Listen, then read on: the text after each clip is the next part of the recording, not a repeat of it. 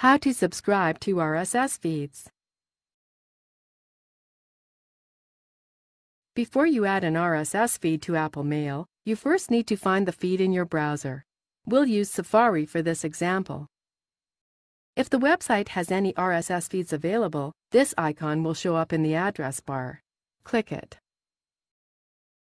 Select the feed you wish to add. Now click this plus icon. Select where to add this bookmark. Click Add.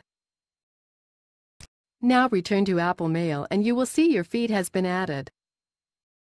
To manage general feed options, go to Mail and click Preferences.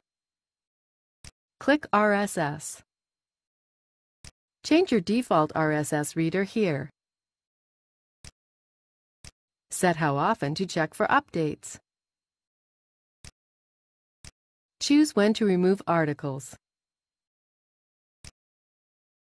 Close the window. Right-click any feed to manage options specific to that feed. Use this menu to rename, delete, or archive the feed and more. This concludes the demonstration.